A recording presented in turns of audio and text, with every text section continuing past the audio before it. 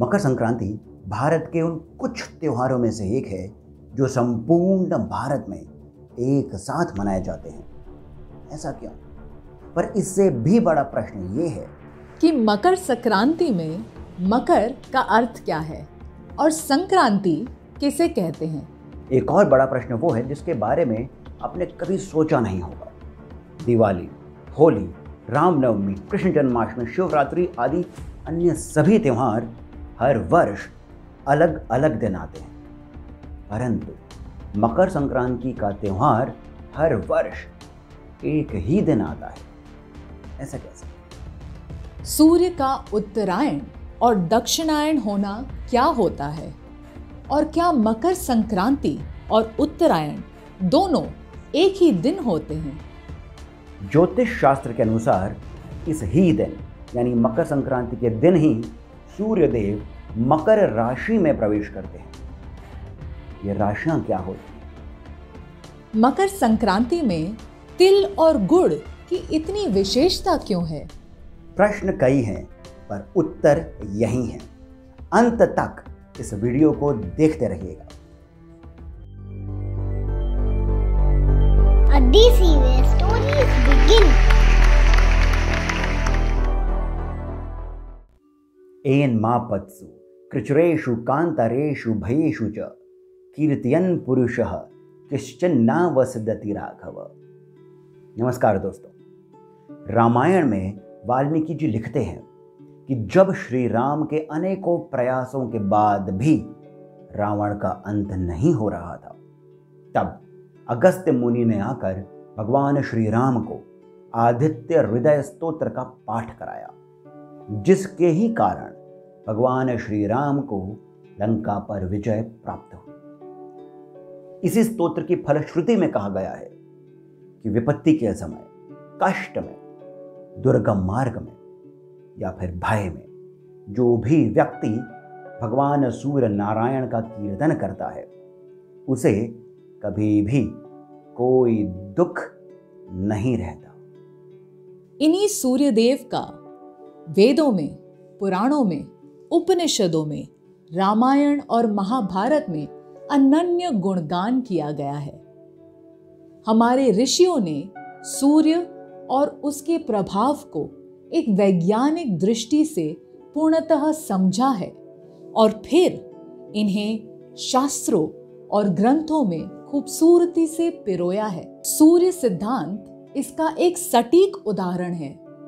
और ज्योतिष विज्ञान की सूर्य के प्रभाव के बिना कल्पना ही नहीं करी जा सकती। यत पिंडे तत ब्रह्मांड। अर्थात, जिन धातुओं से, जिन तत्वों से हमारे शरीर बना है, वही सभी धातु, वही सभी तत्व संपूर्ण ब्रह्मांड में भी व्याप्त है। और अब तो मॉडर्न साइंस भी इस सत्य को मानता है। तो आइए, इसी सत्य को ध्यान में रखते हुए हम मकर संक्रांति के विषय को अधिक गहराई के साथ समझते हैं। सबसे पहले समझते हैं संक्रांति को। संक्रांति शब्द संक्रमण से आया है। संक्रमण यानी चलना, घूमना, फैलना। और अब मकर को समझते हैं। मकर का अर्थ है ट्रॉपिक ऑफ़ केप्रिकॉन यानी वो इमेजिनरी लाइन जो इक्वेटर के नीचे या दक्षिण या साउथ की ओर होती है। अब धरती झुकी हुई है करीब 23 डिग्री के कोण पर। जब धरती इसी कोण पर सूर्य के समीप पहुँचती है तो नॉर्दर्न हेमिस्फीयर के, यानी इक्वेटर के ऊपर की धरती पर गर्मी पड़ती है और सूर्य ट्रॉपिक ऑफ़ केप्रिकॉन से ट्रॉपिक ऑफ़ कैंसर की ओर बढ़ना आरंभ करता है। जिस दिन सूर्य की किरणें सीधा मकर रेखा पर पड़ती हैं, उसी दिन से उत्तरायण आरंभ होता है।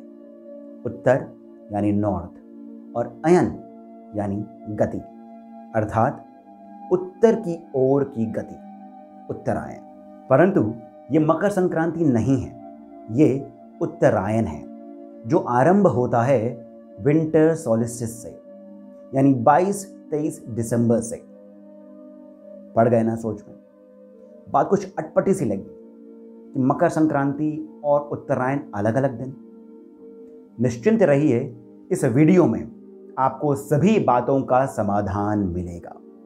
और तभी तो वो कथाएँ जो हम आपको सुनाएँगे, आप आगे और अच्छे से उन्हें समझ पाएँगे।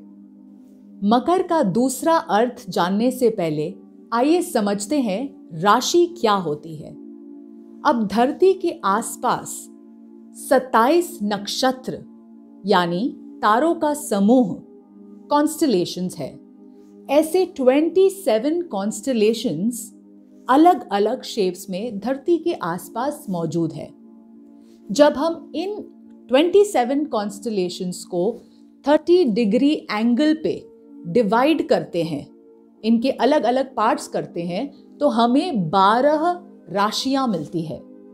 अब 30 डिग्रीज के एंगल पे ही क्यों और 12 राशियाँ भी क्यों, इसका एक अलग विज्ञान है, जो हम फिर कभी किसी अलग वीडियो में करते हैं। अब इन राशियों में तारों के समूह का, हमारे ऋषियों ने अलग अलग आकृतियों में विभाजन कर नाम रख दिया। उन्हीं में से एक है वो राशि, जिसमें तारों का समूह एक मगर की आकृति सा दिखता है, और यही है मकर राशि।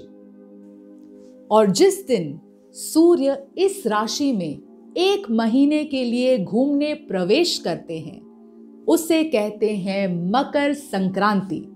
इसी दिन तो उत्तरायण भी होता है। पर हमने पहले देखा था कि उत्तरायण तो अलग दिन होता है। इसका कारण है समय की गणना। यानी यदि हम सूर्य की गति से समय की गणना करें, समय को गिने तो विंटर सॉलिस्टिस से ही उत्तरायण आरंभ होता है। परंतु यदि हम नक्षत्रीय दृष्टि से, यानी नक्षत्रों या फिर कॉन्स्टलेशंस की दृष्टि से समय को गिने तो उत्तरायण मकर संक्रांति के दिन ही पड़ता है। और इसी समय की गणना को, नक्षत्रीय दृष्टि से समय की गणना को ही इंग्लिश में साइडेरियल टाइम भी कहते हैं। फाइनली अब यहीं एक प्रश्न और आता है कि अन्य सभी त्यौहार तो हर वर्ष अलग अलग दिन मनाए जाते हैं। परंतु मकर संक्रांति का त्यौहार हर वर्ष एक ही दिन कैसे? इसका कारण बस इतना है कि भारतीय पंचांग मूल रूप से चंद्रमा की गति के अनुसार होते हैं। और अभी हमने देखा कि मकर संक्रांति की गणना चंद्रमा की गति से नहीं की जाती। और क्योंकि ये त्यौहार एक बहुत बड़ी खगोलीय घटना पर, यानी एक बहुत बड़ी सेलिस्टियल इवेंट पर, और उस इवेंट का हम पर पड़ने वाले प्रभाव पर आधारित है। इसे केवल भारत भर में ही नहीं, नेपाल, थाईलैंड, कंबोडिया आदि कई सारे और अन्य देशों में भी उतनी ही धूमधाम के साथ मनाया जाता है। पर इस घटना का हम पर क्या प्रभाव पड़ता है, आइए समझते हैं कुछ कथाओं के माध्यम से। जब भगवान विष्णु और महादेव शिव के स्वरूप भगवान हरिहर, यानी अयप्पा के पिताजी को उनके पुत्र के भगवत रूप का भान हुआ तो उन्होंने उनका एक मंदिर बनाने का सोचा। अब ये मंदिर कहाँ बने? तब भगवान अयप्पा ने अपने धनुष पर एक तीर साधा और ये कहा कि जहाँ ये तीर जा धरती पर गड़ेगा, वहीं ये मंदिर बनेगा। वो तीर जहाँ गिरा, आज वही स्थान सबरीमला के नाम से विख्यात है। और ऐसी मान्यता है कि भगवान अयप्पा की मूर्ति स्वयं विष्णु अवतार परशुराम ने बनाई थी और उन्होंने ही श्री अयप्पा के पिता से कहा था कि इस मंदिर के द्वार मकर संक्रांति के पावन दिन को ही खोले जाए। मकर संक्रांति की एक कथा और प्रसिद्ध है। सूर्यदेव का विवाह देवी संज्ञा के साथ हो गया था, परंतु देवी संज्ञा सूर्यदेव का तेज सहन नहीं कर पाई। वे सूर्यदेव को बताए बिना चुपचाप से धरती पर आकर के रहने लगी। परंतु धरती पर आने से पहले उन्होंने अपने शरीर से एक अन्य स्त्री को प्रकट किया, जो दिखने में बिल्कुल उन्हीं की तरह थी। इन अन्य स्त्री का नाम देवी संज्ञा ने रखा छाया। तो छाया देवी को सूर्यदेव के पास छोड़ देवी संज्ञा धरती पर आकर के रहने लगी। सूर्यदेव को देवी छाया और देवी संज्ञा के बीच का अंतर नहीं दिखा। समय के साथ देवी छाया का व्यवहार संज्ञा देवी की संतानों के प्रति भेदभावपूर्ण रहने लगा। यमराज, जो कि संज्ञा देवी के पुत्र थे, उन्होंने इस बात की जानकारी अपने पिता सूर्यदेव को दी। सूर्यदेव को थोड़ा अचंभा सा लगा। कोई भी सगी माँ अपनी ही संतानों के प्रति भेदभावपूर्ण व्यवहार कैसे कर सकती है? और जब उन्होंने इस विषय में देवी छाया से, जिन्हें वो देवी संध्या समझते थे, प्रश्न किए तो देवी छाया ने सारी कहानी सूर्यदेव के सामने कह डाली। इस कहानी को सुन सूर्यदेव ने देवी छाया को वहीं छोड़ दिया। और देवी संध्या की खोज करते हुए धरती पर आए। उन्होंने देवी संध्या को पुनः घर आने के लिए मना लिया परंतु देवी छाया के पुत्र शनिदेव सूर्यदेव के इस व्यवहार से कुपित हो गए।